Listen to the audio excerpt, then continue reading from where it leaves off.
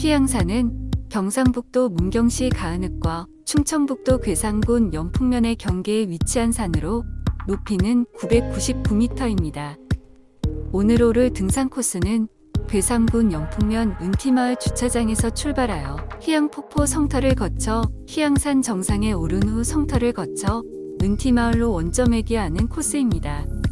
총거리는 8.8km이고 소요 시간은 약 5시간입니다.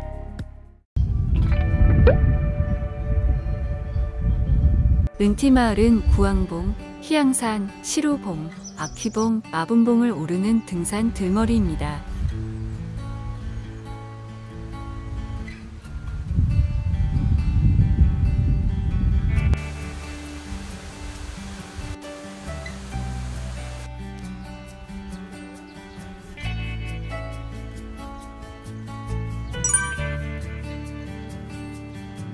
희양산은 백두대간 속리산과 소백산 사이에 우뚝 솟은 신령스럽고 빼어난 하나의 안봉입니다.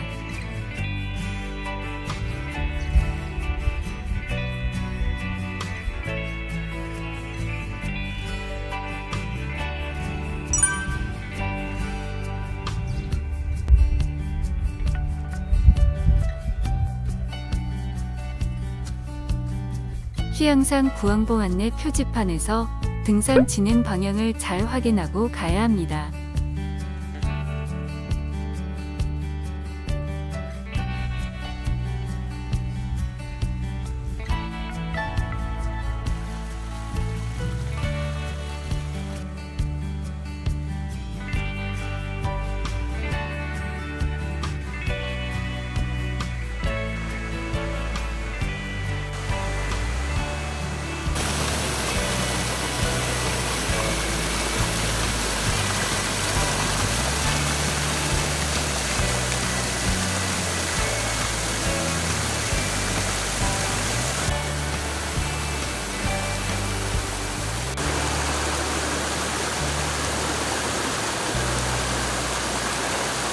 초록빛 숲이 원시름처럼 느껴지고 계곡의 물소리가 너무 시원합니다.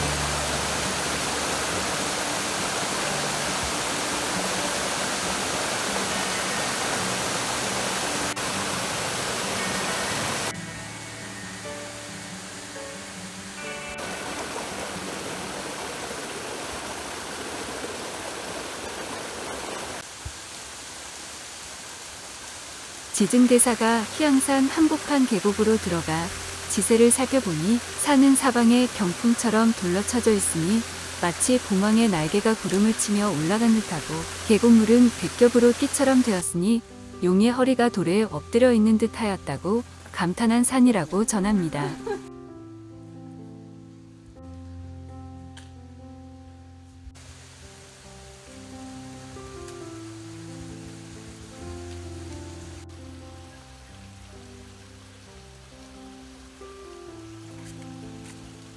희양산 남쪽에는 봉암사가 있습니다.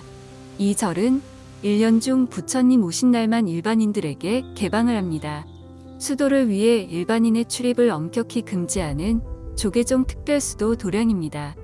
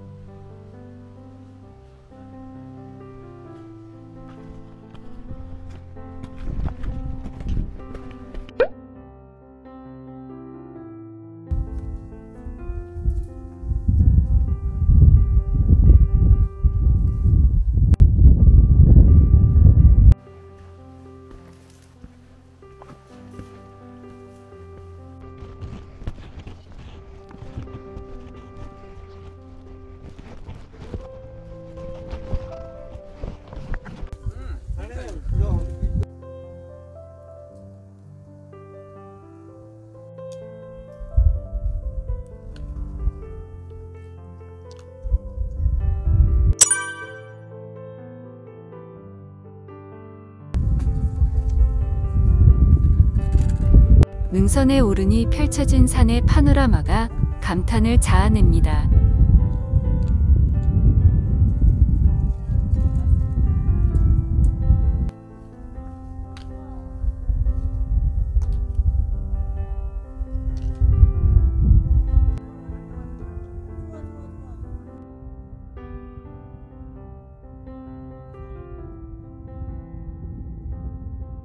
희양산의 북쪽으로 시로봉, 동쪽으로 백화산, 서쪽으로 장성봉, 대하산, 조항산이 이어져 있습니다.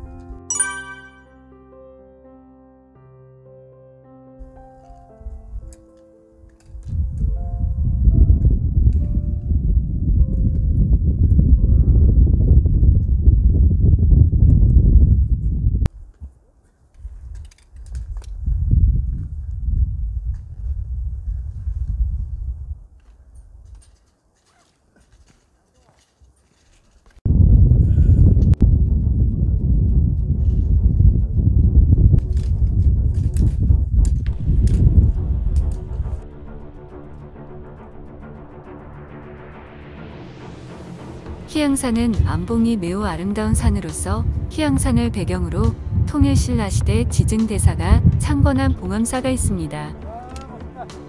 봉암사 주변에는 백운대 계곡이 있으며 희양산과 봉암사, 백운대 계곡이 서로 어울려 아름다운 자연경관을 만들어냅니다.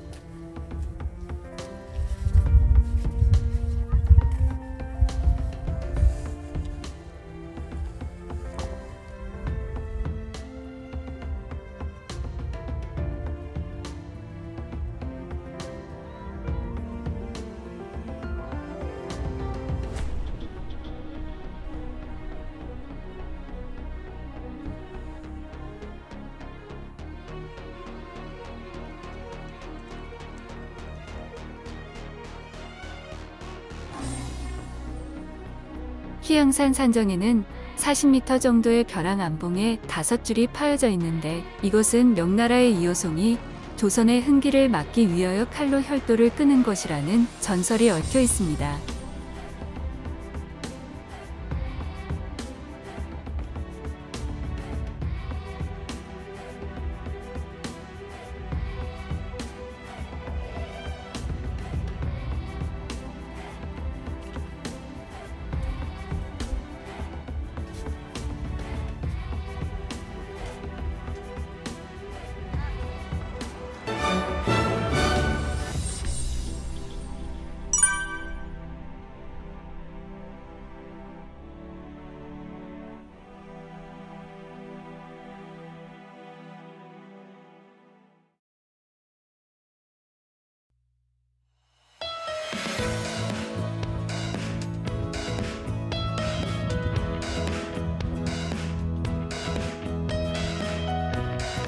백두대간을 종주시 희양산은 아주 험준한 산세로 인해 어려운 구간이기도 합니다.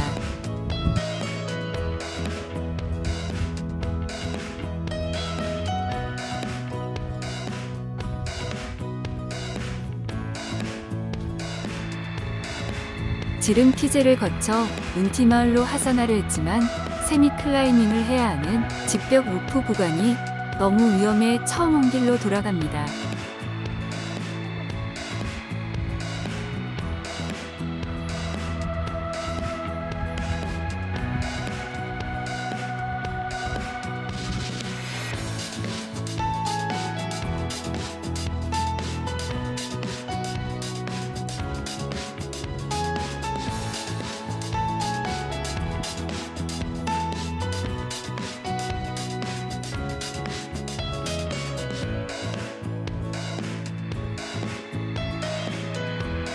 부처님 오신 날 희양산에서 지름 티제를 통해 봉암사로 하산을 할 수 있을까 문의해 보았지만 1년 365일 출입이 통제되며 부처님 오신 날은 일주문을 통한 출입만 가능하다고 합니다.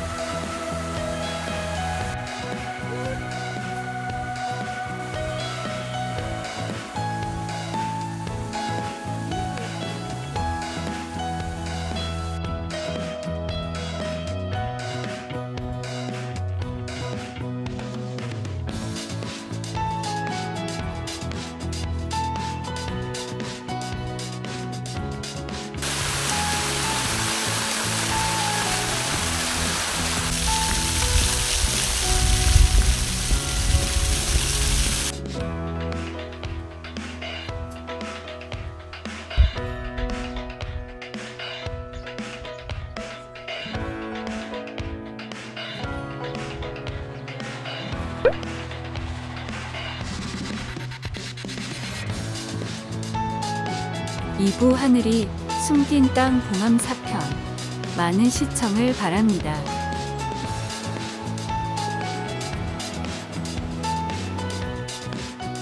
시청해 주시어 감사합니다.